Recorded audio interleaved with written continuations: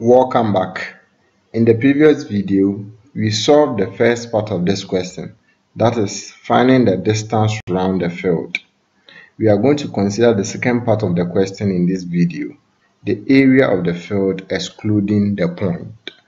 So we are supposed to find the area of the field excluding the point.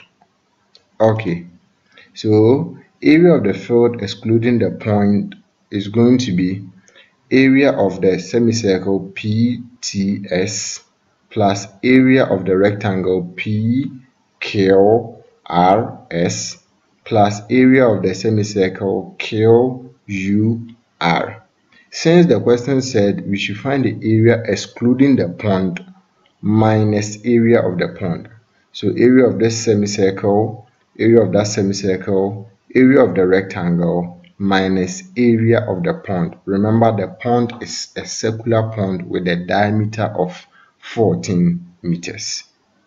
So let's begin with the first one, which is area of the semicircle PTS.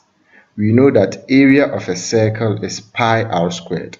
Since a semicircle is half of a circle, the area of a semicircle is half times pi r squared.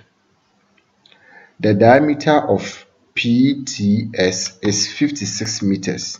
So the radius is 56 meters divided by 2. So it means that area of PTS is equal to half times pi squared, half times pi times r squared, which is 56 meters divided by 2 squared. And this will give us 1231.50 meters squared. So this is the area of the semicircle PTS. Let's find the area of the semicircle QUR. That is also half times pi times r squared and r squared is 56 meters divided by 2 divided by 2 so you have 56 meters divided by 2 squared and this is also going to give us another 1231.50 meters squared. So we have found the area of the two semicircles PTS and QUR. We need to find the area of the rectangle Q PQRS. We know that area of a rectangle is equal to length times breadth. The length of the rectangle PQRS is 122 meters.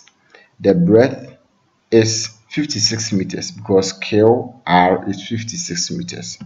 So we can see that area of PQRS is equal to the length which is 112 meters times the breadth which is 56 meters. And this will give us 6272 meters squared. So we now have the area of this semicircle, we have the area of this semicircle, and we have the area of the rectangle. But the question said we should find the area excluding the pond. So we need to find the area of the pond and subtract it from it. Let's move on to area of the pond. The pond is a circle with a diameter of 14 meters. We know that area of a circle is equal to pi r squared. So area of the pond is equal to pi times r. r is the diameter divided by 2. Here the diameter is 14, so r will be 14 meters divided by 2. So we have pi times 14 meters divided by 2 squared. And this is going to give us 153.94 meters squared. Okay, so we now have the area of the semicircle PTS, area of the rectangle P PQRS and area of the semicircle QUR. We also have the area of the pond.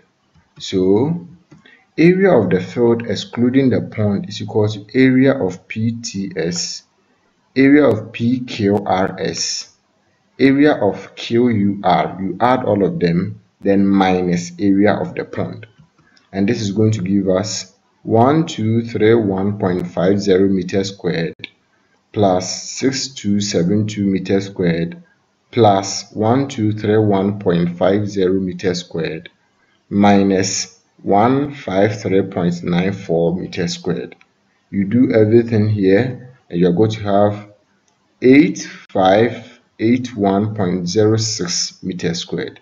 So you can see that area of the field excluding the pond is 8581.06 meters squared.